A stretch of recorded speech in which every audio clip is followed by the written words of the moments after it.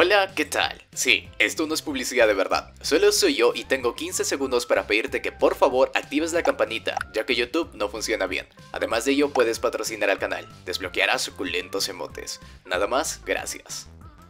Sir here y ¿cómo estamos? Siervo dice, espero que le estemos pasando muy bien. Y hoy nos encontramos en el video más esperado de esta nueva actualización en el cual les voy a pasar a mostrar todas las nuevas armas del pase de batalla antes de tiempo. Y obviamente también lo secundario que son los cosméticos que puede que una que otra persona le guste. Pero bueno, ¿de qué estamos hablando? Del pase de batalla del Olimpo con los dioses, con Hades, con Zeus, Hércules ya lo tenemos en la camioneta el comerciante, así que no está acá. Pero tenemos el resto de cosillas que se ve bastante bien. Aunque no es Hades, es Ares que se encuentra en este pase de batalla, el dios de la guerra, ¿ok? Porque Hades ya es un evento aparte, eso sí me di cuenta. Pero bueno, así es como se vería el pase de batalla, de hecho ya lo estarán viendo desde hace un buen tiempo, así es como se vería el muñequito de todo el pase de batalla, el pequeño robotcito, que es Kratos básicamente, el que mata a los dioses, pero es un robotcito pequeño, así que no creo que mate muchos dioses. Y bueno, ¿qué es lo que te van a dar al principio con el pase de batalla dorado? Te van a dar la skin de Ares, el dios de la guerra, más con su respectiva arma que vamos a pasar a ver, ¿ok?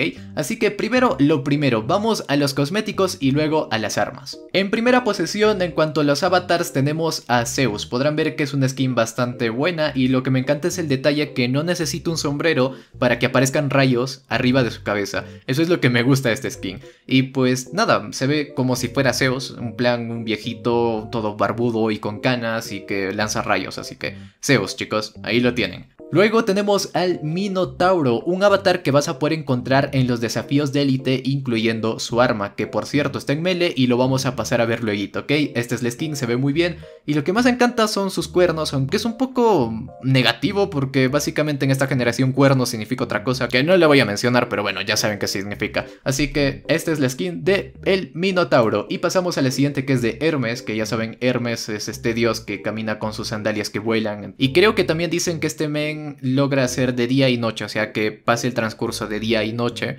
eh, se ocupa este dios básicamente.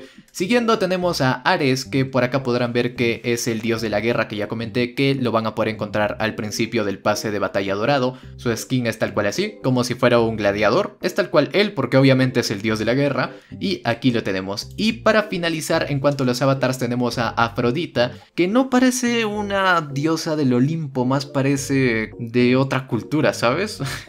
Está un poco rara, pero bueno, aquí lo tenemos Afrodita, que bueno, esperemos a ver cómo es que su arma, porque sí, tiene un arma y parece ser muy buena, creo que está en francotirador. Pero bueno, como ya les dije, eso lo vamos a pasar a ver luego. Continuando con los cosméticos, tenemos las palas para el Battle Royale. Tenemos la pala de Hydra. Chécate tú, esta es la que más me encanta porque son pequeñas serpientes, bueno no son serpientes, son hidras, sabes que cuando le cortas la cabeza a una salen dos, así que aquí lo tenemos, una pala bastante interesante y un tanto diferente al resto, porque hemos visto que habían palas de sartenes, palas de una tumba y pues ahora tenemos de una hidra. Bastante original para hacer un pase de batalla del Olimpo. Y bueno, continuando tenemos otra pala que bueno, se llama Hermes Rod, que no sé qué significará Rod, una vara, vara de Hermes supongo. Y obviamente tiene la temática de Hermes, así que lo tenemos por ahí, nada más que decir, no me llama mucho la atención, pero bueno, ahí lo tenemos. Y bueno, continuando, en cuanto a los planeadores tenemos acá los primeros que serían las sandalias de impulso, que obviamente también es de Hermes, como ya les comenté, este me tiene unas sandalias que le permiten volar, pero tú no te pones las sandalias, sino es como que las agarras con las manos.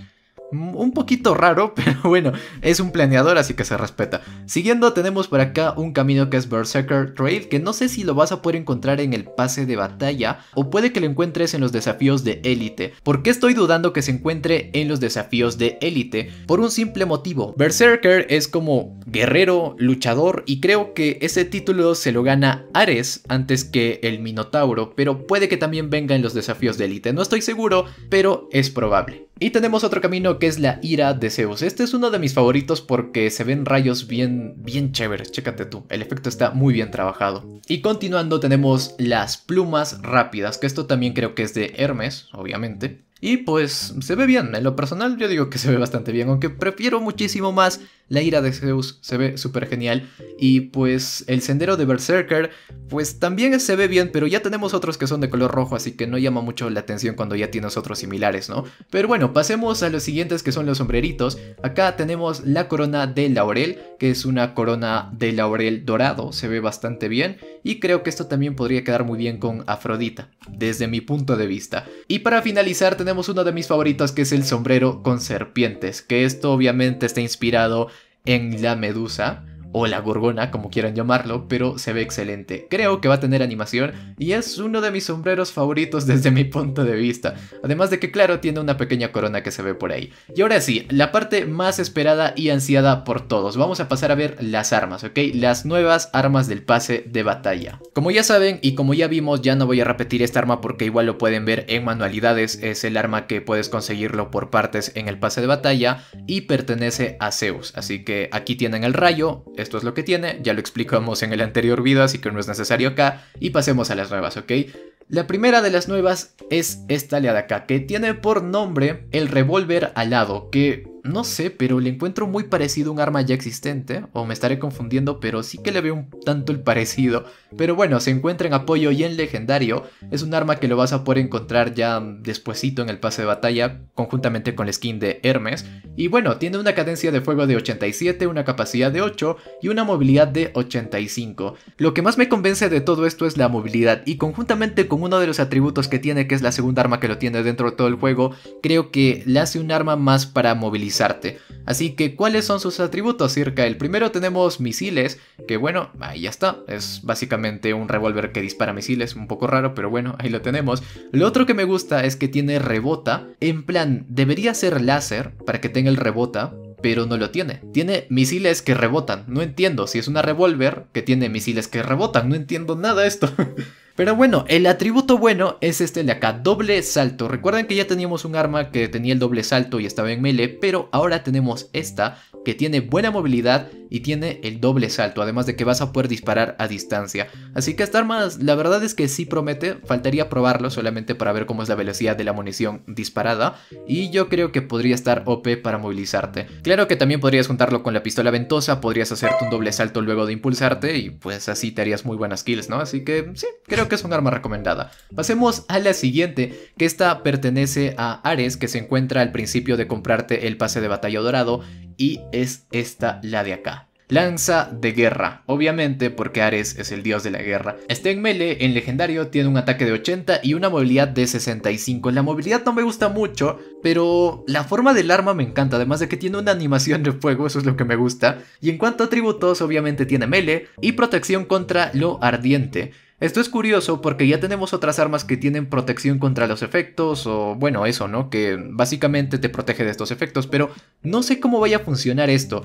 En plan, para que sea un atributo bastante atractivo, lo que debería hacer es que cuando consumas el efecto de ardiente, te aumente un poquito el daño de tu arma durante determinado tiempo. Sería útil ver esta función en el juego porque ya tenemos otra que repelen tanto el envenenar, el ardiente y pues creo que sería mejor que esta arma, ¿no? Así que hmm, hay que pensárselo muy bien antes de poder hacer críticas con respecto al nombre de este atributo porque puede que funcione de otra forma, ¿no? Así que aquí tenemos la lanza de guerra. Pasemos al siguiente, que este es de Afrodita, que parece que es buena y se llama La Ballesta de Afrodita, nombre súper original. Bueno, como ya saben, Afrodita es la diosa del amor y toda la cuestión, por eso es que verán ahí como que un corazoncito. Y lo curioso de esta arma es su atributo, que este atributo no se vio en ninguna otra en francotirador. Va a ser curioso ver cómo es que funcione acá. Primero vamos a las propiedades. Tiene una cadencia de fuego de 77, bastante lento, una capacidad de 10 y una movilidad de 55. No destaca tanto ni en cadencia de fuego ni en movilidad, pero en capacidad sí que está bastante bien. En cuanto a los atributos, ya les comenté que tiene uno bien curioso que es disparo en tres direcciones. Esto de momento lo vimos en armas que se encuentran en principal, y pues la verdad es que sí está bastante bien, pero Nunca lo vimos en uno de francotirador, o sea, nadie se lo ha esperado. Y aquí lo tenemos. No sé cómo es que vaya a funcionar en plan, si esta arma se considera francotirador es porque funciona mejor a larga distancia. Así que creo que tendríamos que combinar la precisión de disparar a tres objetivos o dos a la vez. Puede que sea útil, a no ser de que las balas también como que vayan teledirigidas casi casi automáticamente al objetivo. Podría ayudar, pero bueno, como ya saben también tenemos el efecto de encanto porque es más que obvio que es el arma de la diosa del amor así que debe tener encanto y también tiene algo bien curioso que es cura a los amigos. Y esto es bastante bueno porque hay otra arma que tiene esto y es un arma que lo utilizan muchísimo así que cuando dispares con esta arma te vas a curar. Eso es lo que me gusta de esta arma así que también le recomiendo bastante que la consigan. Aunque claro que está en el pase batalla y sí o sí lo van a conseguir si es que se compran el pase batalla dorado, ¿no? Así que aquí lo tenemos, la ballesta de Afrodita. Así que bueno, aquí tenemos el arma final, el arma que se encuentra dentro de los retos de élite. Y te estoy hablando del hacha doble feroz, que bueno, es el arma de este Minotauro y es un arma que, uff, se ve muy, muy bien. Como ya vieron, es una doble hacha con una cabeza de un Minotauro. Y bueno, se encuentra empezado. Nadie se lo esperaba. Se encuentra empezado. Parece que va a ser una de estas armas bien rotas. Y todos creían que estaba en melee, pero no, está en pesado, bro. What the fuck. Está en mítico, ya saben por qué es el arma de los desafíos de élite, debe estar en mítico. Tiene una cadencia de fuego de 71, una capacidad de 1, o sea que no tiene carga, y una movilidad de 55. Cuando vemos una movilidad bastante baja en las armas en pesado es porque van a estar rotas, así que yo creo que esta sí que va a estar rota. Bueno, en cuanto a atributos tenemos área de daño, es más que obvio porque está en pesado, roba vida, y también tiene sangría. Pues dos atributos que sí van muy de la mano, pero hmm, tendríamos que ver cómo es el daño. Me da curiosidad cómo es que funcione, pero parece que va a estar muy OP porque obviamente se encuentran los desafíos de élite y las últimas armas que sacaron para los desafíos de élite están bastante rotas, así que Va a estar interesante ver cómo funciona esta arma. Así que nada, creo que hicimos bastante hora, creo que el video ya está durando más de 10 minutos, lo cual es positivo para el partner, para mí. y para ustedes que quieren contenido de más de 10 minutos que siempre me lo piden, pues aquí está uno de esos contenidos. Así que nada, espero que les haya gustado muchísimo, ya saben, pueden dejar su like, suscribirse, compartirlo con sus amigos y conmigo será hasta la próxima. Por favor, tengan un muy bonito día. Bye bye Sirbodis, cuídense mucho, bye, bye.